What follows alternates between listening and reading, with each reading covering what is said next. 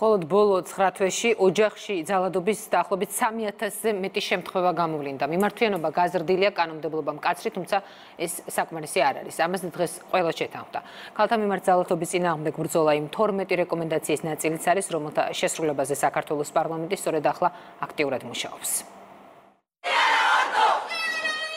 არა ქალზე ძალადობას. ეს სიტყვები მნიშვნელობას კარგავს თუ ყველამ საკუთარი წინი პასუხისმგებლობა არ გაიაზრა. სწორედ ამ პასუხისმგებლობის შეხსენებისთვის 25 ნოემბერს მსოფლიოს 187 ქვეყანა ერთიანდება იმის სათქმელად, რომ გენდერული ნიშნით ძალადობა ისევ რჩება ერთ-ერთ მთავარ გამოწვევად. პრაქტიკა აჩვენებს, რომ ქალთა მიმართ და ოჯახში ძალადობის წინააღმდეგ ბრძოლისთვის საკმარისი არაა მხოლოდ კანონის გამკაცრება.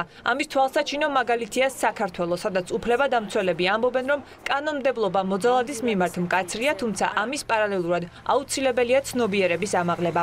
ბოლო წლებში კანონმდებლობაში მნიშვნელოვანი ცვლილებები განხორციელდა. მნიშვნელოვანია სახელმწიფომ გააძლიეროს პრევენციული პოლიტიკა. ბოლო წლებში იზრდება გამოვლენის მაჩვენებელი ძალადობის, თუმცა კვლავ რჩება არაერთი შემთხვევა, რომელიც არის გამოვლენის მიღმა და ამის ერთ-ერთი მიზეზი არის სწორედ საზოგადოების ნაწილის მხრიდან საკმაოდ არაჯანსაღი დამოკიდებულება. ძალიან დიდი მნიშვნელობა აქვს სამოქალაქო საზოგადოების მობილიზებას და მისი ცნობიერების ამაღლებას.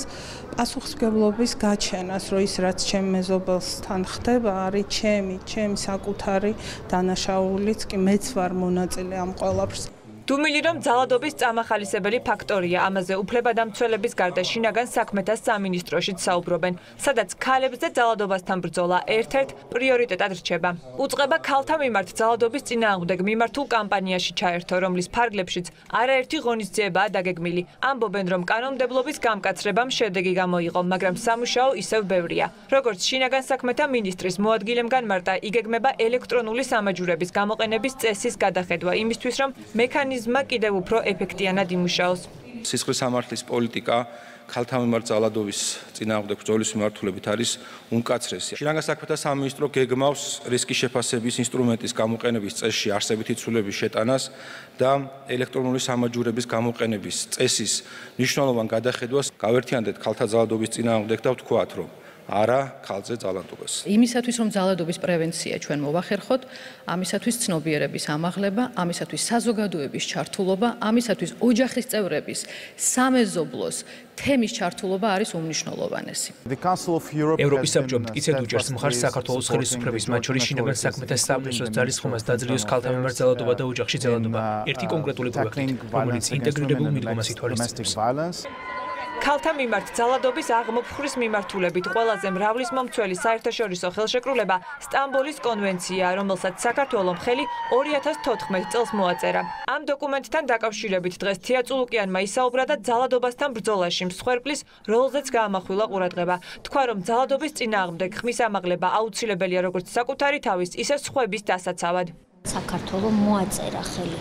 სტამბულის კონვენციას, შემდეგ რატიფიცირებაც გააკეთა ამ ფუძემდებლური საერთაშორისო აქტის, რომელიც მიმართულია ქალთა მიმართ ძალადობის ყველა ფორმის აღმოფხრისაკენ ყველა გარემოში. ყევანდელი დღე არის, რა თქმა უნდა, სევდანარევი დღე, იმიტომ რომ ჩვენს ქვეყანაში კვლავ მძლავრობს ქალზე ძალადობა, გოგოებზე ძალადობა და მე მინდა თითოეულ მათგანს მიმართო და ვუთხრა რომ არასდროს არ უნდა გაჩუნდნენ.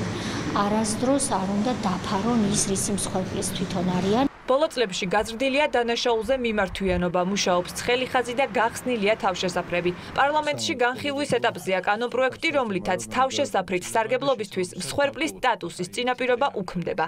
ასევე პარლამენტმა ამ მიმართულებით ქართული კანონმდებლობის ევროპის საბჭოს კონვენციასთან ჰარმონიზაციის უზრუნველსაყოფად თემატური მოკვლევა დაიწყო. ქალთა მიმართ ძალადობის წინააღმდეგ ბრძოლისთვის გაერთიანება იმ 12 რეკომენდაციას შორისაა, რომელიც ჩვენმა ქვეყანამ უნდა შეასრულოს. გვაქვს გარკვეული მოვალეობები. ჩვენი კანონმდებლობის, ეროვნული კანონმდებლობის ჰარმონიზაციის და საერთაშორისო სამართლებრივ აქტებთან და დოკუმენტებთან და შესაბამისად ჩვენი მიზანია ამ შემთხვევაში, რომ რაც შეიძლება მეტ ზუსტ ინფორმაციას მოუყაროთ. თავის შემიძლია არ გამოეხმაურო ზოგადად სისაძაგლის, რასაც ქვია ფემიციდი, რომელიც რასაკვირველია მოითხოვს ყველას მხრიდან აბსოლუტურად უპირობო დაგმობას.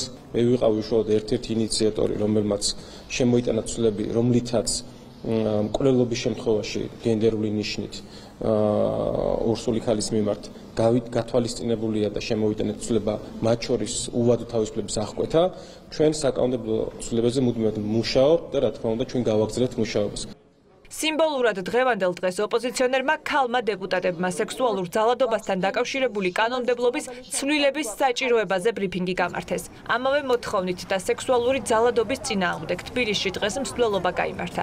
ითქვა, რომ საჭიროა ამ ხრივ კანონმდებლობის გაუმჯობესება და საერთაშორისო სტანდარტებთან დაახლოება.